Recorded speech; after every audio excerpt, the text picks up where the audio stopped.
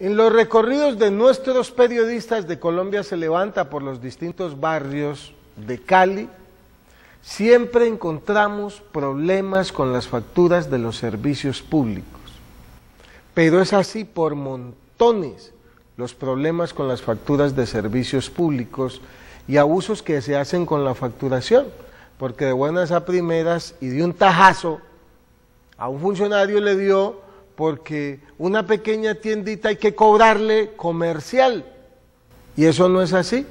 Resulta que si usted tiene en su casa, en el primer piso, una tiendita pequeña y más del 50% de ese local es su casa de habitación, no le pueden cobrar la factura comercial.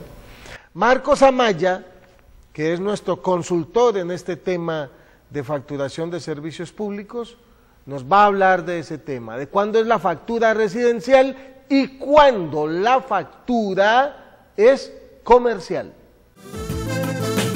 Colombia se levanta, un programa para la gente.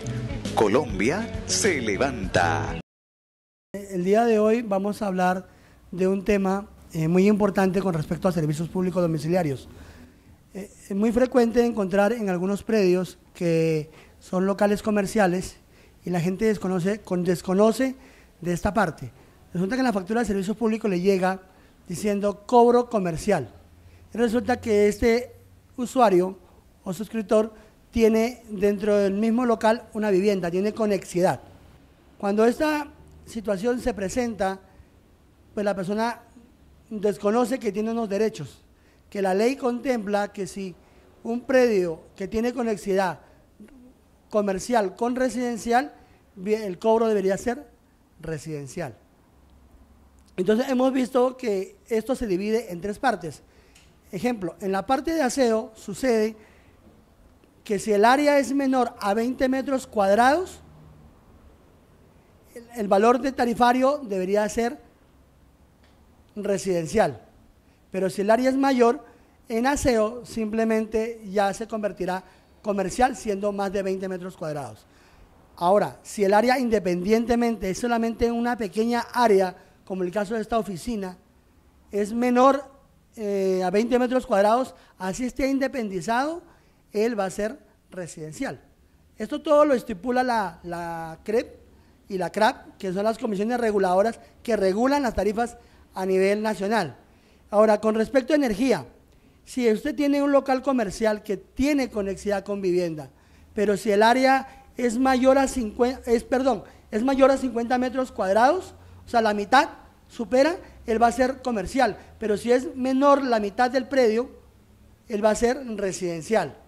Entonces, estamos ayudándole a la comunidad a regularizar los, los, cobros de servicios públicos, porque a veces la gente me dice, mire, yo tengo mi local y bueno, yo no sé, yo apenas monté aquí una, venta de arepas y, yo vivo aquí mismo y ya me están cobrando comercial. No, hay una regla, hay unas reglas, hay unos parámetros, unas normas que regulan este tipo de cobros. Las empresas no podrán cobrar este tipo de, valores comerciales simplemente porque usted abrió y puso su letrero clínica de ropa o, porque puso un local de internet. No, eh, nosotros aquí los vocales de control de la ciudad de Cali, estamos ayudándole a la comunidad, que somos reconocidos por la alcaldía de Cali, a, cambiar estos valores tarifarios. Ahora voy a darle otro ítem que es muy importante con respecto al acueducto.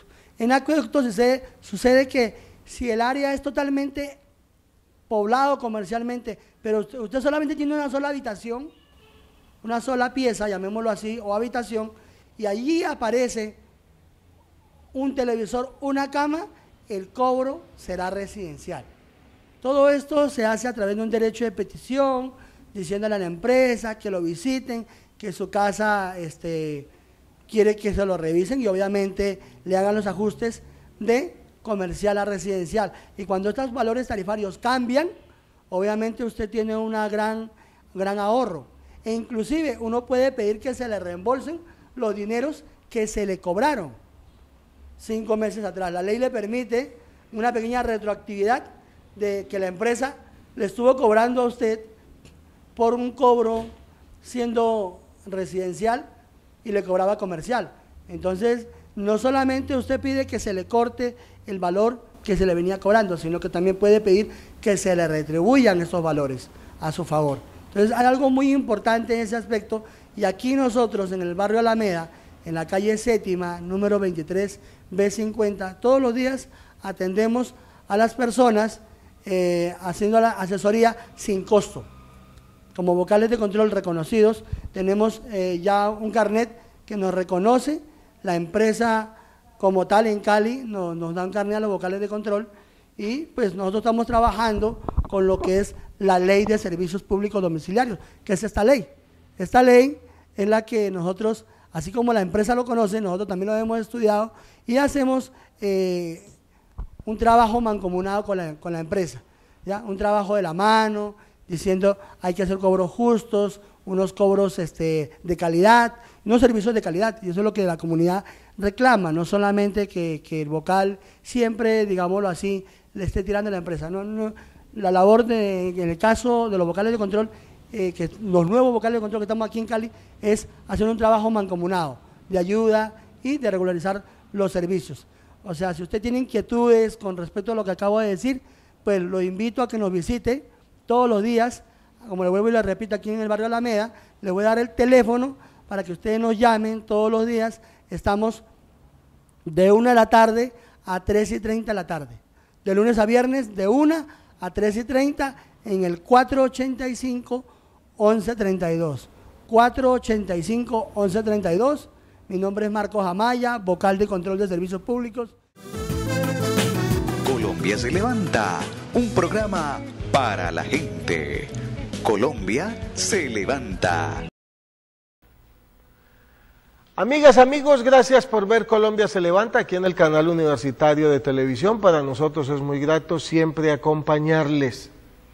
Nos vemos en una próxima emisión de Colombia se levanta. Recuerden nuestro correo electrónico para que propongan sus temas. Los podemos ir a visitar a su barrio. Colombia se levanta tv arroba gmail punto com. Hasta pronto. Colombia se levanta, la televisión de la gente que trabaja por nuestro país. Say.